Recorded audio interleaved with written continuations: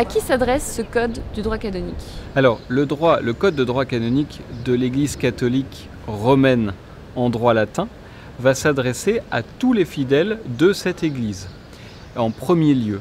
Donc, euh, un fidèle, à partir du moment où il va être baptisé, va être incorporé à l'Église du Christ, comme le dit le canon 204, et cette incorporation à l'Église du Christ dans l'Église catholique va donner à ce fidèle des droits et des devoirs.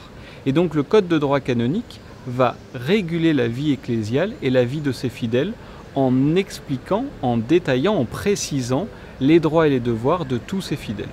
Mais alors comment peut-on définir le fidèle? Alors le fidèle, c'est celui qui est baptisé, qui a reçu le sacrement du baptême. En premier lieu, le droit canonique s'adresse à ses baptisés. Comme tout système juridique, le droit canonique va conditionner l'exercice de certains droits et devoirs en fonction de certaines conditions de la personne. Les conditions de la personne, ce peut être l'âge. On n'a pas, les mêmes droits et les mêmes devoirs quand on a 7 ans ou quand on a 18. En droit canonique aussi, il y a une majorité. Il y a la condition physique ou la condition euh, euh, d'âge mental, euh, on prend aussi en compte la question du handicap, par exemple, en droit canonique. Il y a enfin la condition euh, de sexe. En droit canonique, euh, les hommes et les femmes n'ont pas tout à fait les mêmes droits et les mêmes devoirs. Il y a enfin la condition liée à la vocation. Quand on est laïque, quand on est clair, quand on est ordonné pour le service de l'Église, on n'a pas non plus les mêmes droits et les mêmes devoirs. Donc quand on parle du fidèle, on parle de tous les baptisés qui sont intégrés à la communauté ecclésiale, mais à l'intérieur de ces fidèles, vous voyez bien qu'il y a euh, plein de, conditions euh, très différentes, très distinctes. Juridiquement, qu'est-ce qui distingue un individu lambda du fidèle? Alors l'individu lambda, c'est la personne humaine. Et le droit canonique, il va aussi respecter cette personne humaine et, notamment le respect et l'intégration des droits fondamentaux dans le droit canonique, les fameux droits de l'homme, comme on dit. Euh, et puis ensuite, euh, le fidèle, c'est cette personne humaine qui a reçu le sacrement du baptême.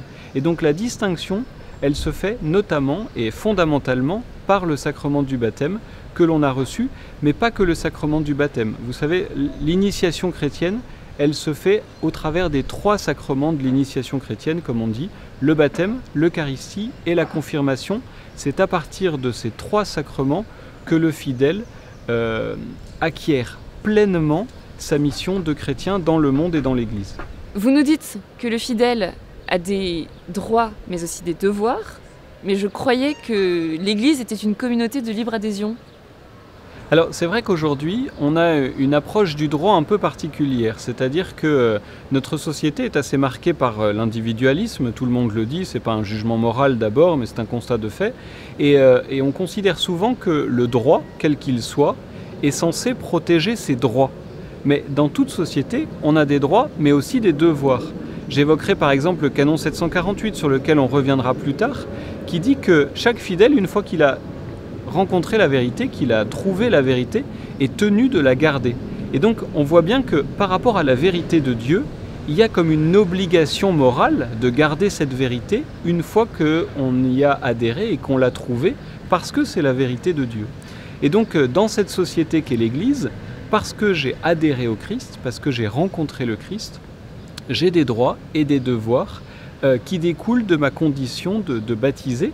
Par exemple, quand on est baptisé, on s'engage pleinement à être un fidèle du Christ, c'est-à-dire à vivre une vie sainte, à témoigner de la présence du Christ dans le monde, à, vivre en enfant de Dieu, avec une euh, vie morale aussi assez clairement établie. Et donc tout cela font que le fidèle a effectivement des droits, mais aussi des devoirs vis-à-vis de l'Église, mais d'abord vis-à-vis du Christ et vis-à-vis de Dieu, cette vérité qu'il a rencontrée.